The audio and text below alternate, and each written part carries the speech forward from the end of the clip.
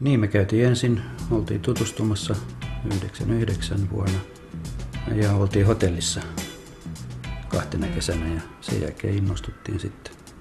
Siitä se lähti. Sitten vähän ajateltiin sitä, että se raha, minkä tänne panee, niin, niin se on kuitenkin siellä. Ei se sieltä sitten mihinkään karkaa. Me ollaan viihdytty hyvin, kun me jatketaan vieläkin, varmaan toiset kymmenen Eri- vuotta ainakin. Erinomaisesti. Kun meillä on kakkosasunto Meriteijossa, niin sitten kun on eläkkeellä, niin sitä aikaa on ja mieli tekee välillä vaihtaa maisemaa.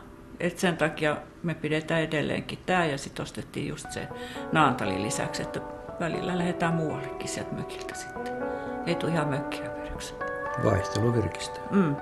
Joskus on sattunut jotain, että on tarvittu apua, niin se on tullut sitten muutaman minuutin päästä, että on joku esimerkiksi kahvin keittimen rikoin vahingossa, niin sehän tuli sitten heti uusi. Se on huoletonta. Ja maisemat on ihanat täällä. Niistä nauttii. Meidän poika ja poika tulee perheen kanssa tänne kanssa golfaamaan. Se heillä on mukana sitten yhdeksänvuotias, nykyisin kymmenenvuotias Antti, joka on golfannut kuusivuotiaasta. Et kyllä se sopii niin kuin isovanhemmille ja lapselle ja lapsenlapsille ja miniä. Kaikki ollaan innostuneita.